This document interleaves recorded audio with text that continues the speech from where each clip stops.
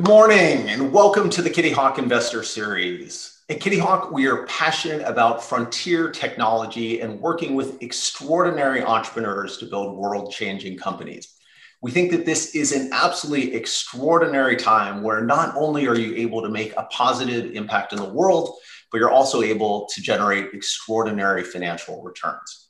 So this is our six year investing, and I want to just give you a, a very quick update. It's been a really exciting and, and uh, year for, for Kitty Hawk. Uh, we have had two companies become unicorns. We've had our first uh, 100x portfolio company. Both of our funds now are tracking uh, over 3x uh, invested capital. So Kitty Hawk Ventures 1 is uh, 3.3x, and Fund 2 is at 3.5x uh, and feeling like giving the, the seeing the progress uh, that we're seeing in our portfolio companies uh, really feel like there's a very good probability that we're on our way to having kind of 5x plus funds which is super super exciting for us we're now at $25 million in commitments for Fund 3. Uh, we're continuing to actively fundraise. I think we'll kind of keep that up for another couple months and then get our uh, heads down and, and focus uh, fully on investing. Uh, and also, as you may have seen, we're super active right now in terms of later stage SPVs. We've got about $80 million in uh, allocations that we're working through. So it's a very exciting time. I want to thank all of you for your support, uh, for being part of the fund, for being part of this community. If there's anyone out there who is interested in connecting to, to chat about uh, the fund itself or about any of our SPV opportunities, would really welcome the opportunity to connect with you. All right, so for today's call, we're going to have about 30 minutes or so of fireside uh, fireside conversation. We're then going to move to audience Q&A. Uh, and then, as you know, kind of one of the recurring themes here is my desire and kind of my love for building community. Uh, we really have some extraordinary people who are on the call today the CEOs of some of our portfolio companies, our LPs, our advisors, and uh, just great friends of the fund who are doing interesting things out in the world. So, uh, if we have some time at the end, we're going to break out into four person groups so you all can connect, get to know each other a little bit, and, and perhaps chat a little bit about today's conversation. All right. So, with that, I am thrilled today to be able to welcome my great friend, uh, Ramez Naam. So, Ramez and I have known each other for a little over eight years now. Uh, we got to know each other as a result of our work at Singularity University. Ramez is one of the world's preeminent thought leaders around energy and environment and was a frequent guest on our stage and, and the faculty chair for those two areas at Singularity University. He's a multifaceted uh, human being, really an extraordinary human being, a very accomplished author, both for fiction and nonfiction. If you are a fan of science fiction, his Nexus trilogy books are really extraordinary. And, and one of those books actually is the winner of the Philip K. Dick Award, uh, which is, if you're a science fiction fan, you know is one of the uh, kind of highest accolades that you can receive in the science fiction world. Ramez is also a very active investor. Uh, he runs multiple syndicates. We've had the pleasure of being able to, to co-invest together on one deal uh, amply, uh, but excited to be able to hear from him about, uh, about some of the companies that he's investing in and some of the themes that, uh, that he is seeing. All right, so, um, so with that, let me welcome Ramez Naam. Mez, it's amazing to have you here, my friend. Will, it's so awesome to be here. Great to see you, and thanks for having me on. Our continuing journey together. Yes, um, indeed. So, my belief is that this is a really extraordinary time in human history. And, you know, as we've talked so many times uh, at SU, there's this opportunity to impact billions of lives today, right? And to create very meaningful businesses and, and financial uh, opportunities. And, and my belief is that we're right on the precipice of what I think is going to be one of the most extraordinary investment opportunities of, of our lives, and that is around climate change. Uh, and so, you know, there's an existential threat there. There's going to be incredible resources that are going to be directed towards solving these problems and creating a more sustainable um, uh, world. So I thought maybe we could kind of just start things off by getting your quick kind of overview, kind of a lay of the land on what you're seeing on the energy front. And then uh, afterwards, we can start to get into some of the specifics around some of the energy generation sources and, and technologies.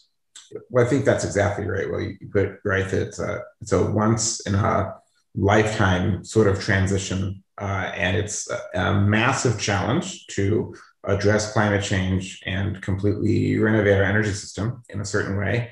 Uh, but one of the things that was not foreseen when we started down this road of uh, using government policy to deploy clean energy, things like solar and wind and batteries and electric vehicles, is that they are exponential technologies. And so the thing that's happening that's really dramatic is the combination of policy plus this exponentially plunging price of clean energy is driving a transition that in many ways is much more rapid than most people believed is possible.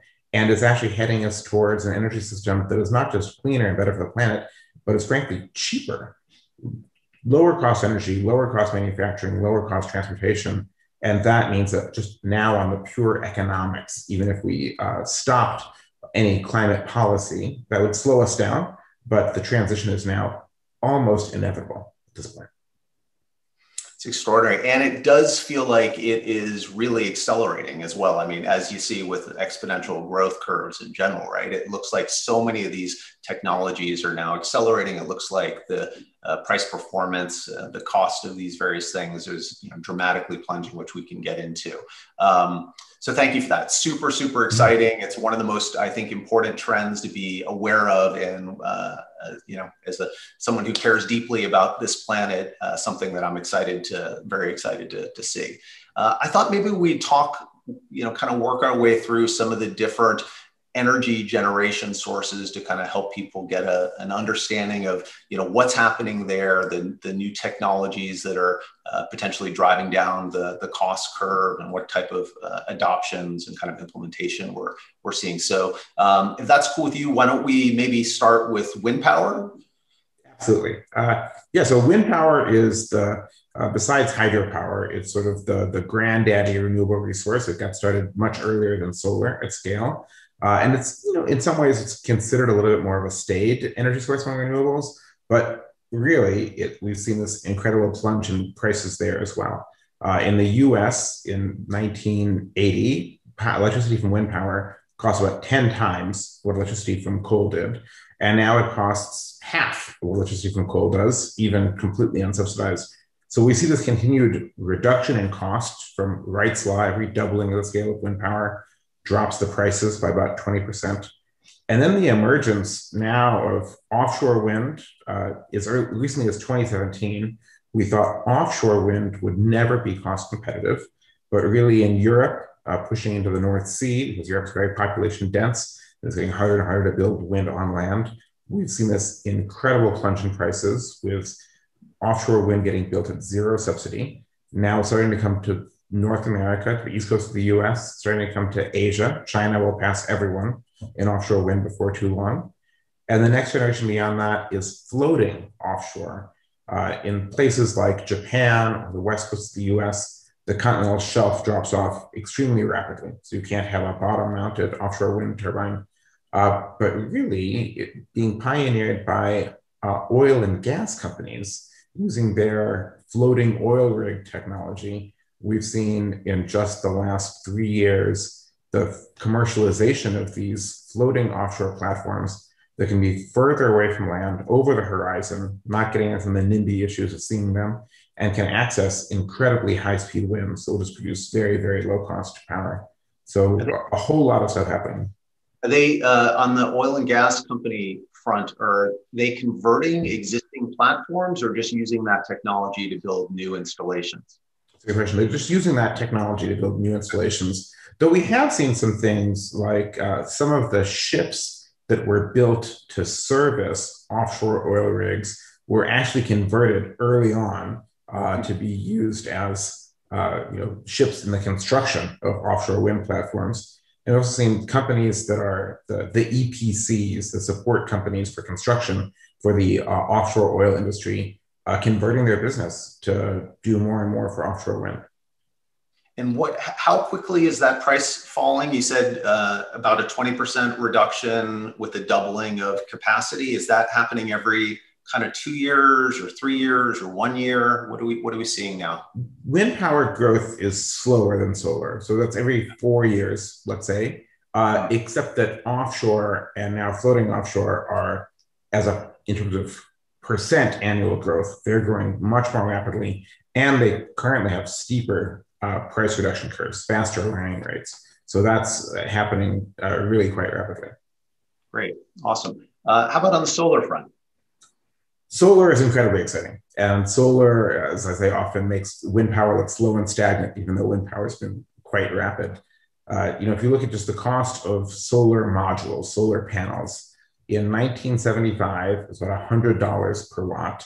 Uh, in, by the end of 2020, we're seeing you know, less than 20 cents a watt for panels that were frankly better, more durable, higher efficiency, took up less space. So it's a 500 times cost reduction in the cost of the underlying technology, which is unlike, it's faster than any other physical infrastructure. Besides computing and gene sequencing, it's basically the fastest learning rate we've ever seen in anything. And so now, you know, I say about both wind and solar, they had a first phase of existence where they had to be subsidized. They were just more expensive than new uh, power from coal or gas. And that lasted from the beginning of these technologies in the 70s up till maybe 2015.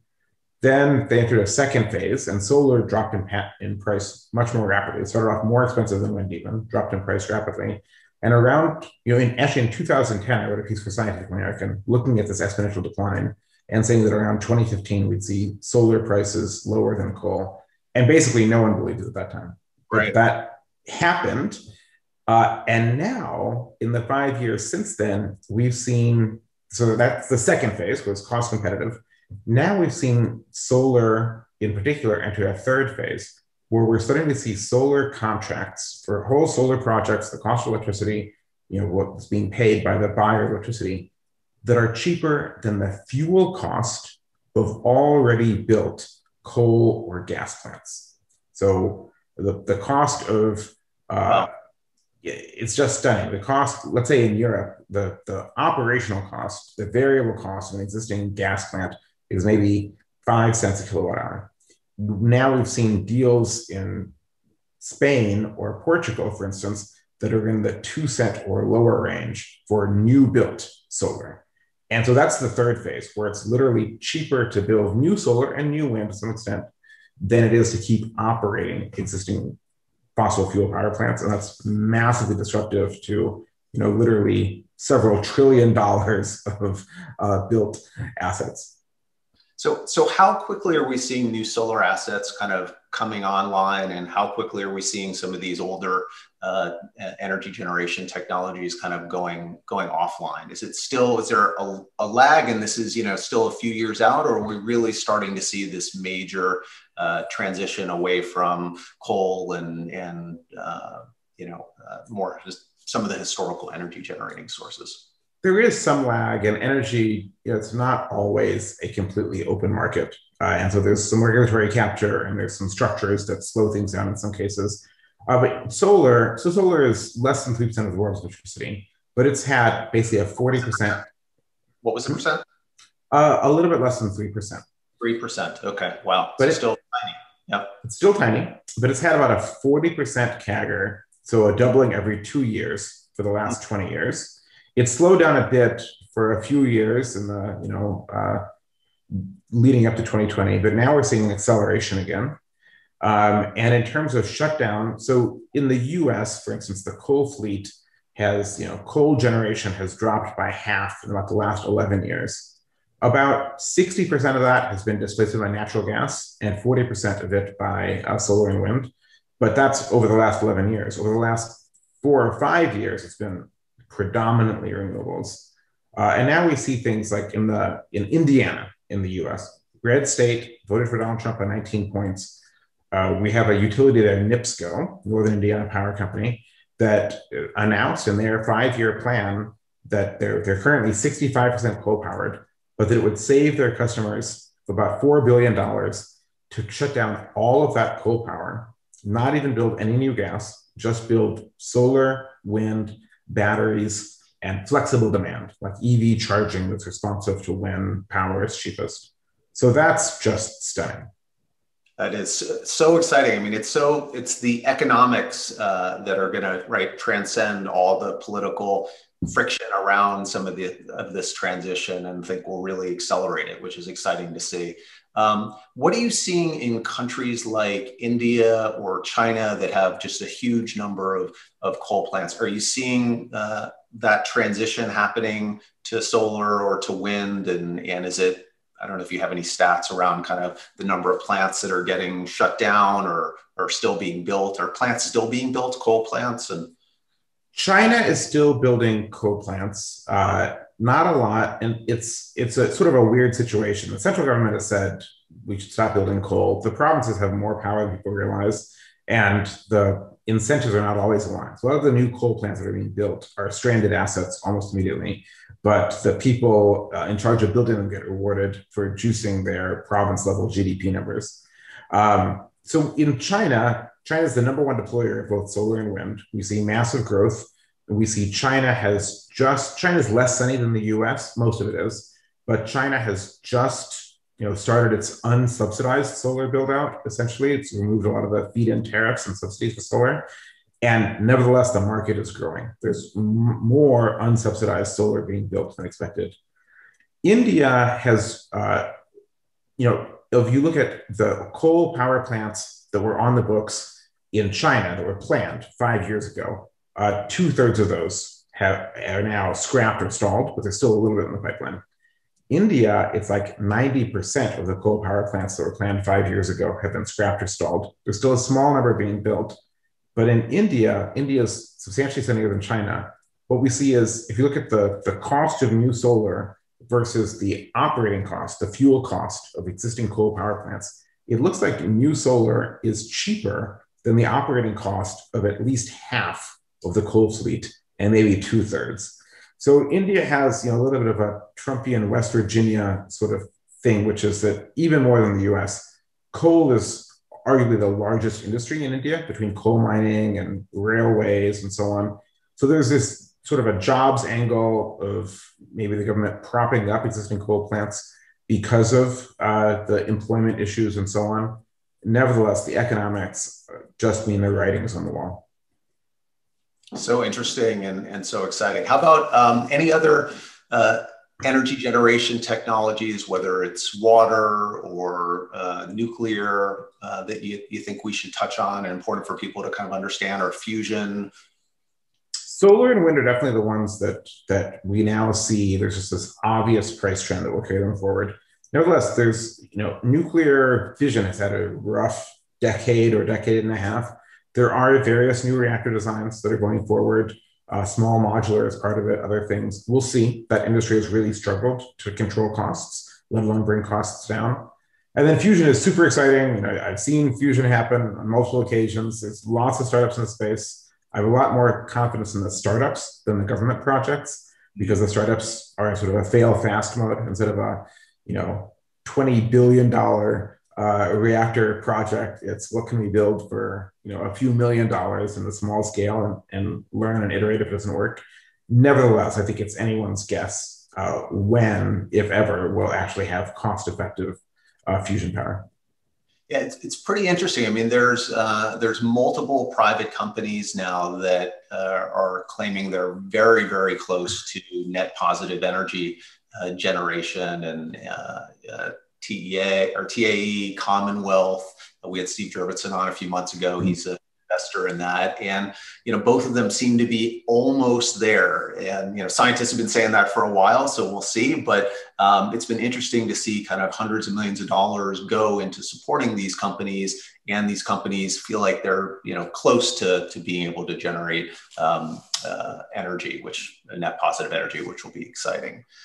Um, That's been the most exciting time to see in fusion ever. Yeah, yeah, for sure. How about on the energy storage side? It feels like a part, you know, critical part of kind of store uh, of solving our uh, the energy equation and this transition uh, to kind of more sustainable uh, energy sources that might not be available 24 hours a day is having an updated uh, energy storage system in place, having uh, a more sophisticated grid in place. What's what's happening there? Storage is incredibly exciting, and storage is sort of where solar was 10 years ago, I'd say. It plunging in price, similar pace to solar, but maybe even faster some new technologies.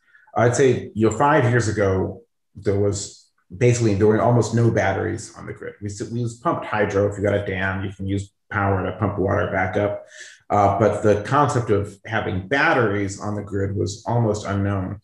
Now in the US, you know, probably a third of new solar projects are being built with batteries using lithium ion batteries, the same batteries in your phone or laptop or EV. Um, that so four hour storage is starting to become cost effective, I would say, on the verge.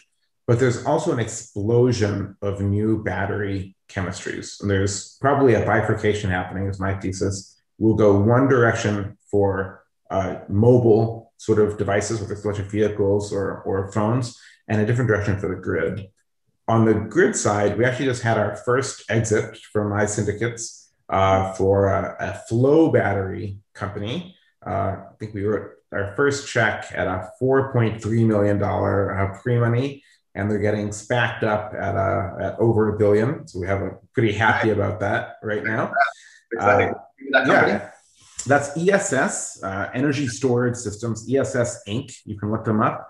And what they make is a flow battery uh, using iron and salt. So no rare earth uh, materials, nothing scarce. Uh, it has you know, to be cost effective storage for 12 hours or longer. So it, it basically, yeah, if everything works as planned, we've basically solved the day night cycle. Um, you know, as I think I said earlier, imagine a new coal plant can be built at about six cents a kilowatt hour for electricity. New solar in the US getting down to, you know, three cents, two cents. The Department of Energy thinks the average cost of new solar in the US is about two cents by 2030. And we're looking at storage at about two cents as well. So now you're talking about for the day night cycle, a combination of solar, wind, and storage with this flow battery or other similar technologies cheaper than uh, coal or gas. So there's multiple other contenders, uh, flow batteries, uh, uh liquid metal batteries, so on. But the multi-hour, you know, day and night, I think we've got incredible progress on. The area that's still under development is what we call seasonal storage.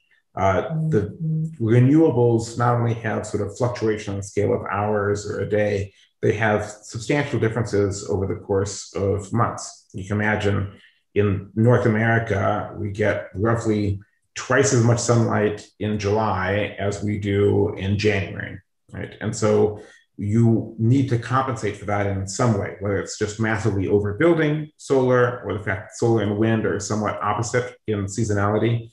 But sometimes you have a period in winter, we've got little sun, and you might have several days without good wind.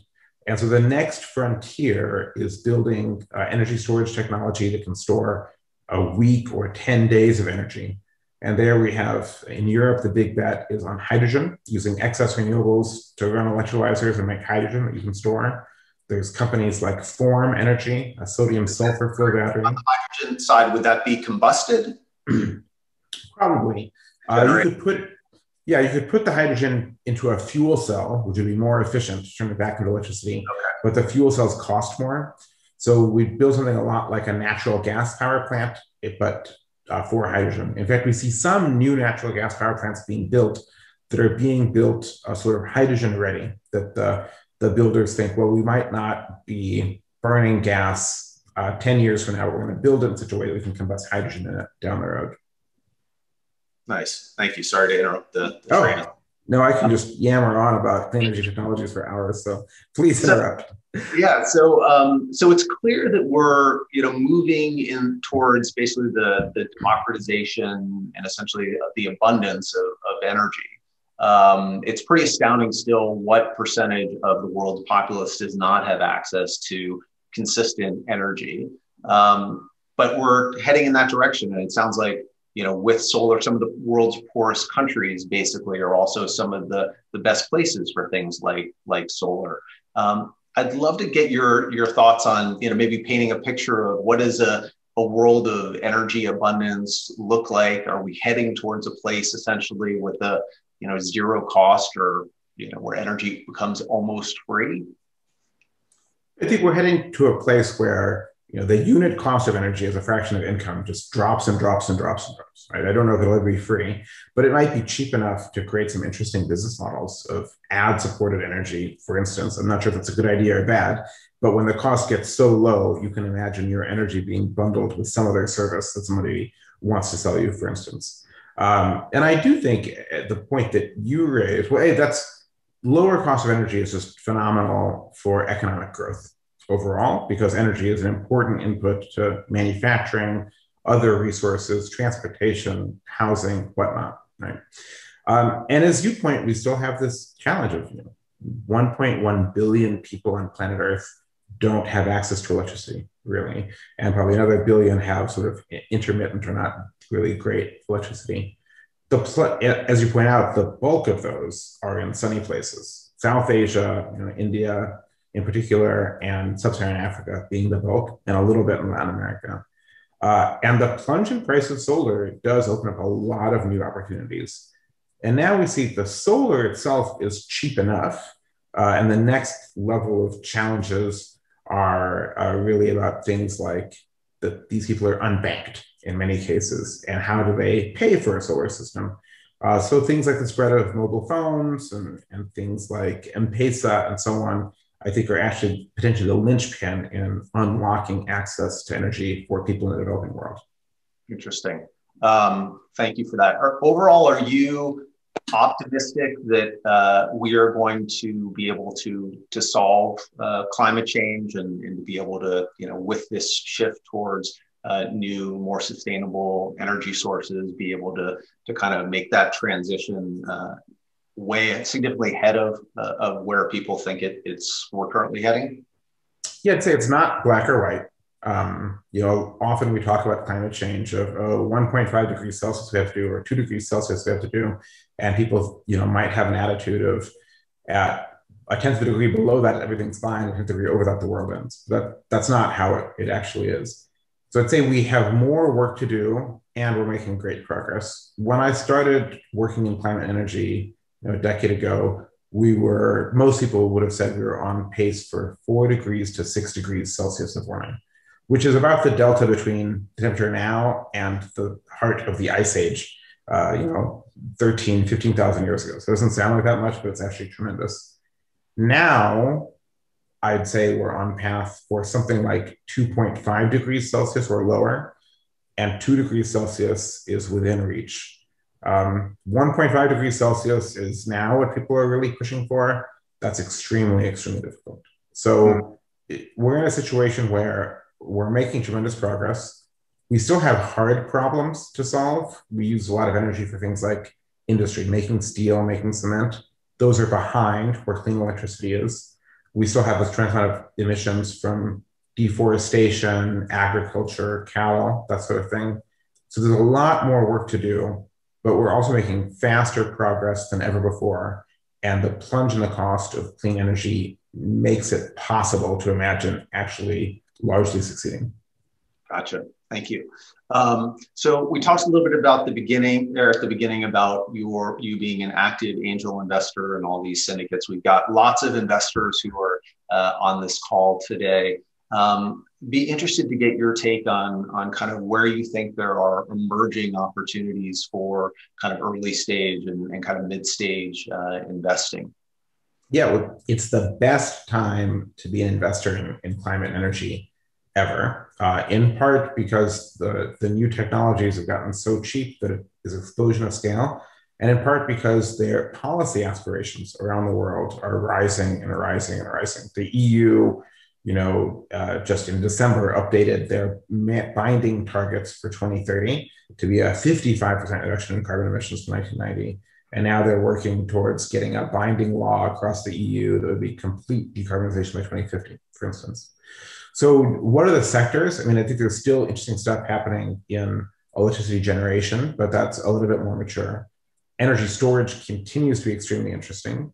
Uh, electrification of transport uh, is a place that I'm you know, spending more and more time. Uh, electric vehicles, like storage, are basically where solar was a decade ago. It's hard to believe with Tesla's valuation, but you know, EVs are still you know less than about 0.1% of all cars on the road are electric vehicles. So you can see that it's still an order of magnitude or more below where solar is.